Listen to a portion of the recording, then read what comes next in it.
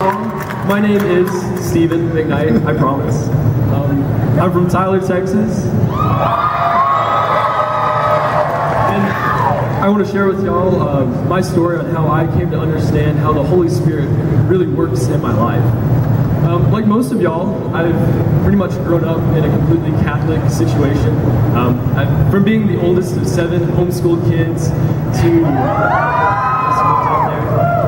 being at a uh, Catholic private high school, I always felt like I had a pretty strong grasp on my understanding of how God lives in my life. But I really had no inkling of how much understanding I really lacked. And it was at the end of my freshman year that I heard two of my friends talking about some crazy radical experience that they had at a Steubenville conference. And as I listened, I realized that they were talking about the Holy Spirit moving through their lives. And I felt a twinge of jealousy because I'd really never felt the Holy Spirit moving through me. And so I think God used that little bit of jealousy to encourage me to go to the next Steubenville conference. But when I got there and adoration, I, I, didn't feel any of the things that they were talking about.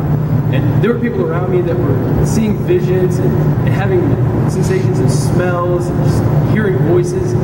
And I, my, my only question was, why can't I feel that? Why can't I experience it? And I think God really answered my question through my friend Bernardo. And Bernardo has a really charismatic, enthusiastic personality to begin with. So when I saw the Holy Spirit touch him, it was radiant, like, like stadium lights coming on. And so through the joy that God gave Bernardo, I was able to find joy myself. And that's when God's message really got through to me that not everybody experiences the Holy Spirit in the same way.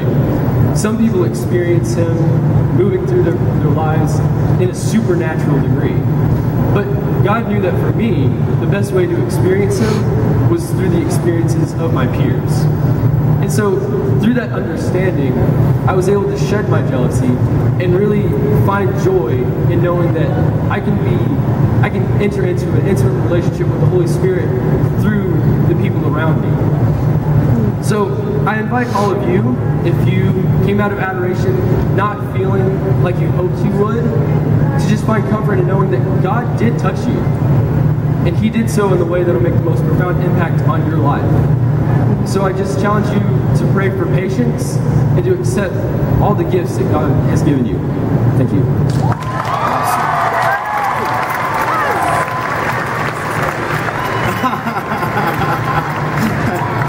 All right, let's give it up for Franciscan lead one more time. You guys can uh, get Awesome. Good. Yeah. I like them boots too, Steve. It's awesome, man. I uh, I'm wearing boots today because I'm from Texas. I love being from Texas.